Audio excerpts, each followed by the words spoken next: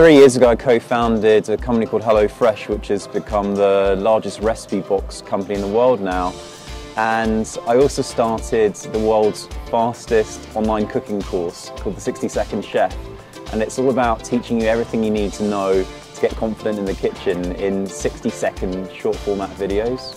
The 60 Second Chefs featured across the Times website and the last video got two and a half million views, which is incredible because it just goes to show there's a hunger for learning how to cook. So with HelloFresh, it just made so much sense to film all of these dishes that I was creating, which quickly led me into doing the filming and the editing and basically doing that entire production myself.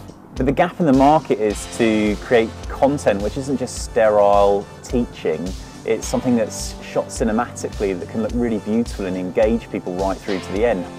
The great thing is though, when you're not investing in crew, you can invest in the best equipment.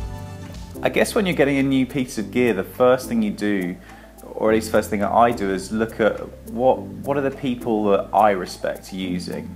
And and I remember that Philip Bloom was using uh, a Miller tripod, so I, I decided to give it a go, and immediately you could actually tell that it was just a lot more a lot more solid. Uh, the shots were far smoother, and and that was perfect for me. I guess a lot of people would use uh, that that panning ability for something like a, an epic landscape, but I'm working with food and.